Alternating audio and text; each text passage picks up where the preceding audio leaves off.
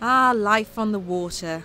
Peaceful, picturesque, maybe a little cramped. But if you have a big budget and can afford to splash out, houseboats have just gone bling. Take a peek at this glossy video. The developers behind this boat hope to build and sell another 10 this year. So I arranged a viewing to find out what life on board a millionaire's barge is really like. So let me show you downstairs.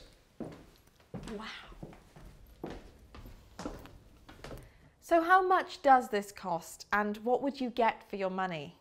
Well, this costs one and a half million pounds, which is about the same as a penthouse here in Wandsworth would cost. But here you get probably more square footage. You get two and a half thousand square foot of totally bespoke, design, interior designed barge, which is in excess of 40 metres long. And you get a 60 year tenure on the mooring here too. Now, our estate agent is right to mention mooring. If you're thinking of buying a barge, whatever the size, this should be one of your first questions. Well, there's no denying that this three bedroom houseboat is gorgeous as well as being ultra high spec. But what about those of us that don't have 1.5 million in the bank? Will we be able to live our river dream? I made some calls and eventually got in touch with Ben, who's been renting a room in this boat on a southwest London mooring for the last three months. So, welcome aboard. Wow, this is quirky. This is great, isn't it? Now, this is no luxury cruiser, but it's got character.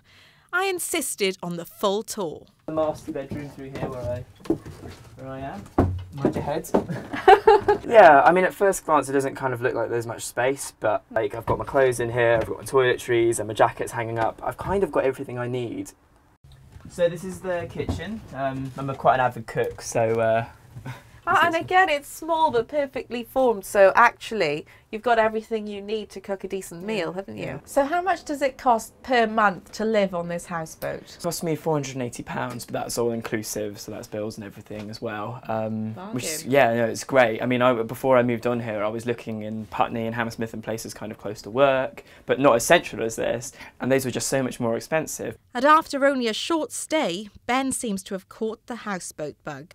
I, I would genuinely think about buying a boat now that I've lived here. Um, it's just, it's you know, provided I can get a location like this, it would just be completely worth it.